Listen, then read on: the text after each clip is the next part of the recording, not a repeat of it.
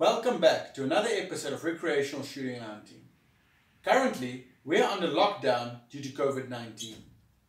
So I decided to clean up my laptop a bit, go through old photos and videos, and just sort things out.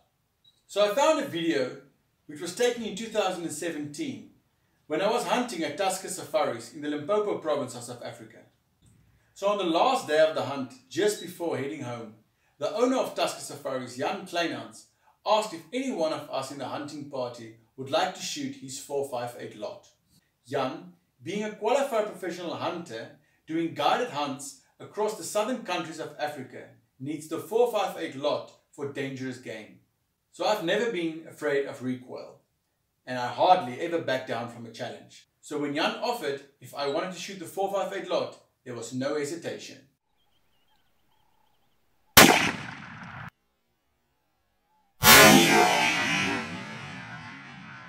So when I took that shot, lightning struck and it was love at first shot. Then came Jan's second challenge. How fast do I think I will be able to put three rounds on paper?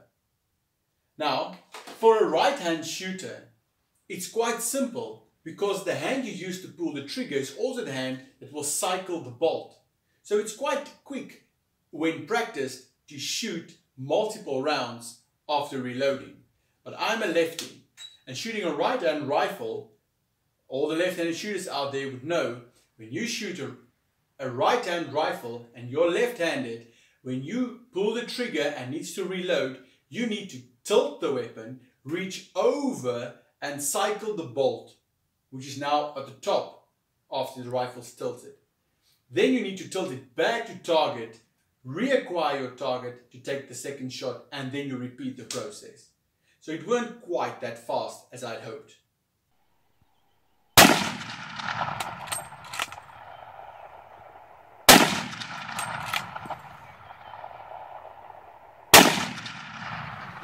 Now I must admit, if I look back at that, it felt way faster than it actually was. But I can't complain about the end result. At least all three shots was on paper. So after the lockdown, you ever thought of hunting in Africa, check the description below. There's a link to Tusker Safari's website. Well, as you can conclude from this video, I love the 458 Lott and it's a rifle I would surely love to have in my safe. So if there's anyone out there who owns a 458 Lott and thinks their rifle needs a new home, there's an open space in my safe and there's a hole in my heart. Cheers.